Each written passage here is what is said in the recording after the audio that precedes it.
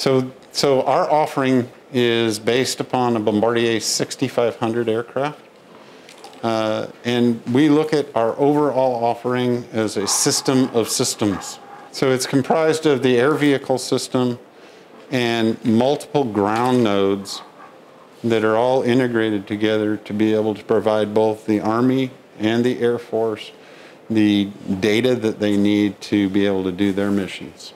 So one of the things that we, we believe is very important in this is that we build in from the beginning modularity and flexibility because we know very well that the threat that we have today will change and be in the future there'll be new threats, different threats, and we're building in the capability in the system to add growth, to add those capabilities for the future without having to recertify the aircraft, without having to redo the entire network. The overall network is all going to be based in a, in a fiber infrastructure, and we are building it oversized. So we are oversizing all the processing, oversizing all the memory, so that when that time comes and we need to make a change, the change will be very easy to implement. So one of the other things we feel is very important is to have the right partners in Korea. And we are working together with KAL and a number of other smaller companies to provide as much Korean content as possible and setting KAL and those companies up for the long term. We, we understand that once we deliver the aircraft, you're going to have the aircraft operational for 25 to 30 years. You don't want to have the aircraft go to, back to the US to be fixed or maintained or upgraded. All that can be done here on the peninsula with the group we have because we're embedding them with our design team in the beginning and they will go with the design all the way through the process and maintain the aircraft here in Korea for the life. So the overall, the overall program consists of four aircraft, two transportable sites that are transportable by either vehicle or by aircraft that will be stationed with the Army and interface with the Army uh, command and a fixed site that will be based for Air Force intel and interface both of those. The Army will interface through its GCCC, command and control, and the Air Force will interface through the CAOC all of that will be integrated in a battle management command and control set of software that is also replicated on the aircraft.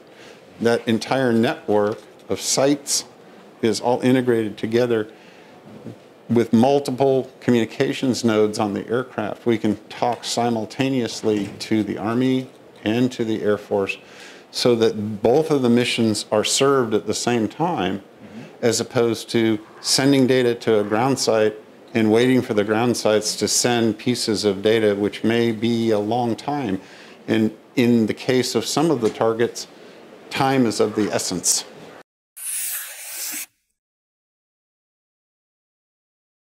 Yes, so um, what we're uh, looking to do is we have uh, the team, which is uh, ourselves, Korean Airlines, and Bombardier. And what we're going to do is have a integrated product team and that product team will have full design authority. He'll have the lead design authority, but KAL and Bombardier will also sign off on the design as it gets into finalization. And the, the aircraft itself, the first two aircraft will be modified in the United States. KAL will come over with their, their designers and their um, uh, program managers and they'll understand and learn how to do the modifications.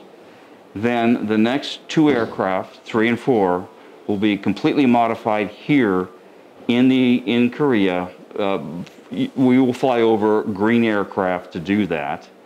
Um, and then from that point on, we will support KAL uh, in uh, the maintenance logistics for the program over a 30, 35 year, year time frame.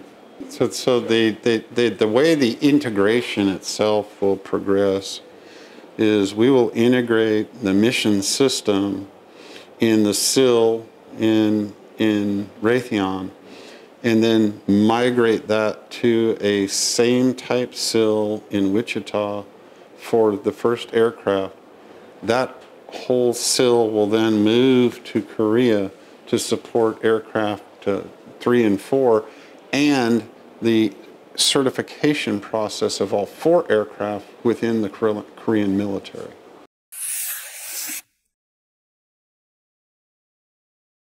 So in this configuration, we have 10 operators. You'll notice that the way that these are in the model is not really the way that they are out there.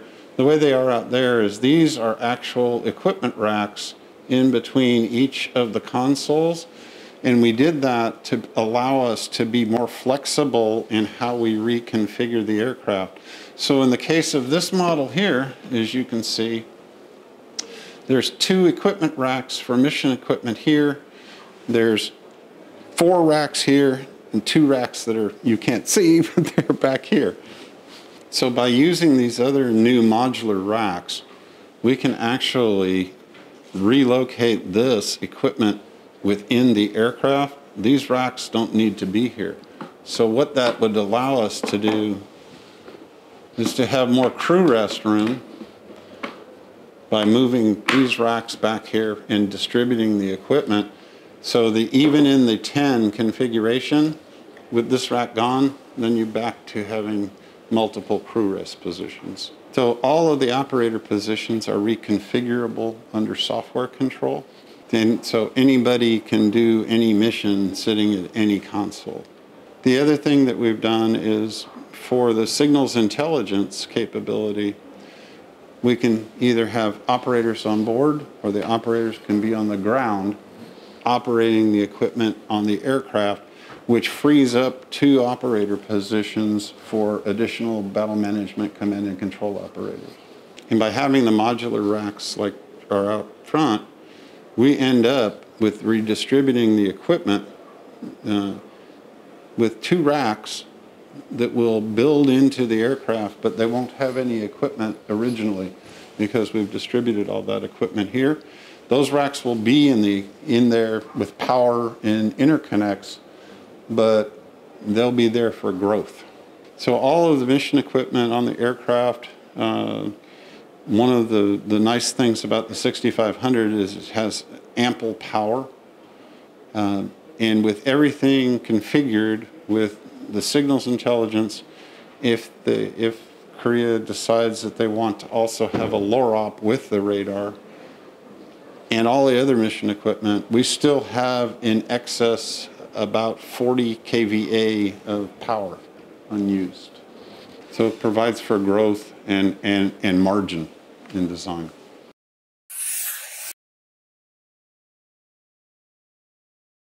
Yeah, just I, I think that uh, this is uh, ideal for the Korean military uh, as they look forward um, this is the aircraft that will help them in that operational control transfer.